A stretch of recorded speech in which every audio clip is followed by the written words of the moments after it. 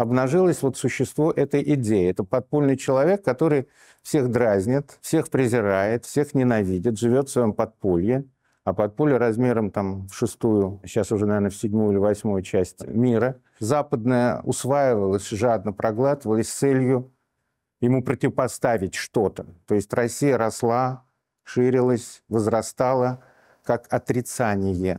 И это вот вылилось потом и в Октябрьскую революцию, как отрицание э, западного мира. русский мир вообще противостоит всему человечеству уже без всяких иллюзий на то, что он объединяет каких-то хороших людей из других стран мира. Это уже э, иллюзия 20 века, иллюзия пролетарского интернационализма, она тоже осталась уже в прошлом. То есть так и заявляют лидеры этой страны, что вся Россия окружена врагами. Это еще Дмитрий Медведев заявил.